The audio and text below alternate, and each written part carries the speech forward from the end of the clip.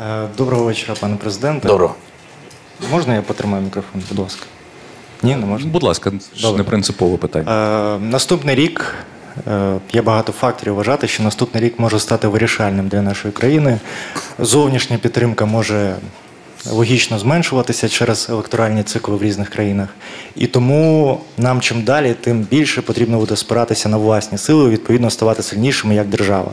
В той же час ми бачимо, що ми, як держава, схоже, не можемо перемогти якісь кол-центри, які щодня і просто зараз грабують мільйони наших громадян.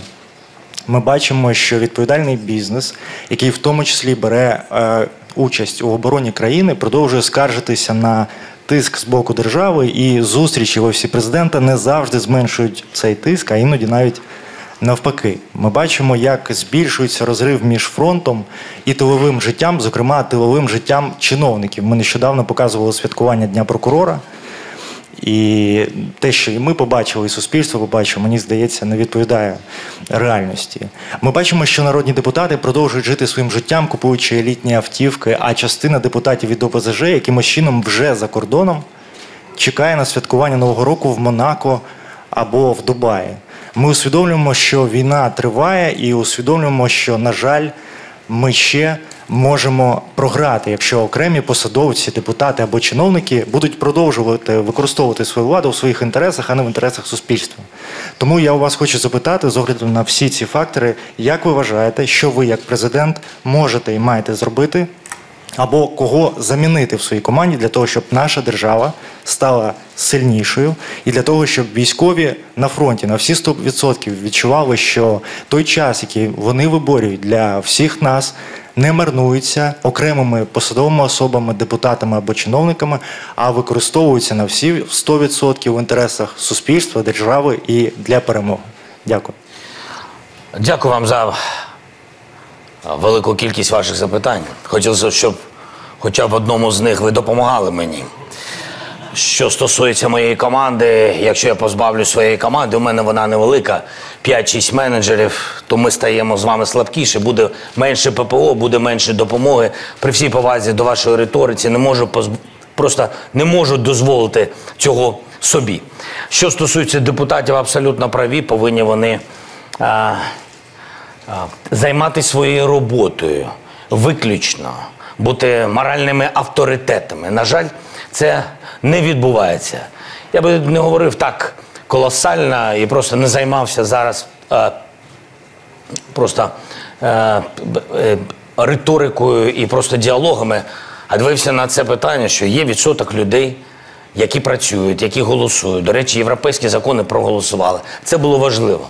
Проголосували багато реформ, які відкриють ті самі 50 мільярдів, до речі, які і підтримують нашу економіку, яка потім і дає бізнесу можливість працювати тут, а не закривати. А потім цей бізнес допомагає нашим військовим. Саме в такій черзі це відбувається. Тому я е, з вами погоджуюсь з вашими намірами. Я погоджуюсь з цією атмосферою, яка буває. Але я не вважаю, що е, депутат, який гуляє, скажімо так, да?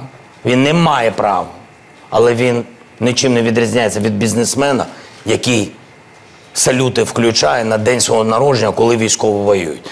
Я не ділю цих людей. Я вважаю, що так, всі державні діячі повинні бути моральним прикладом. Такого, на жаль, немає. Тут погоджуюсь з вами. Що можу я зробити як президент? Не можу їх розпустити, бо тоді будуть вибори. Вибори не можу у час війни проводити. Тобто можу зробити тільки згідно законодавства. І живу я згідно законів України. Принаймні, все для цього роблю. Може, іноді щось не виходить, ну ж вибачте, які є. Тому, якщо ми готові на такі шляхи зміни нашого. А, складу Верховної Ради України. Треба змінювати українське законодавство і проводити вибори. Все, що можна зробити з депутатами. Окрім цього, я зробив все, щоб самі ці депутати, саме які б вони не були, проголосували всі антикорупційні закони, щоб потім борці проти корупції приходили до цих депутатів. Ну, тим не менш, це відбувається і це буде, і ніхто не буде це зупиняти. Мені важливо, що ми максимально боремося з корупційними ризиками І партнери говорять, що їх фінанси, які вони нам надають на зброю, тощо вони сьогодні не під ризиком, бо ми проходимо ті чи інші реформи. Але люди, розумієте, вони такі, як, як вони є. Є людина незалежності, хто він, вона в окопі і сама б пішла.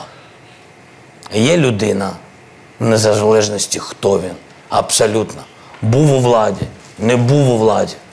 Але домовився і виїхав за кордон мобілізаційного віку. Якось домовився. Комусь дав щось і виїхав.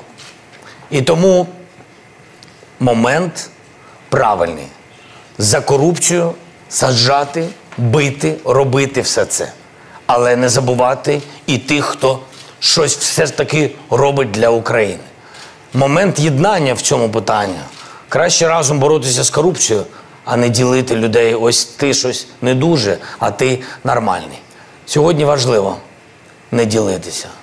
Дуже важливо. А закони, правоохоронці, антикорупційні органи, Служба безпеки України обов'язково, обов'язково виконує свою роботу і, да, і будуть відповідні справедливі вироки. Ну, напевно, так. Дякую.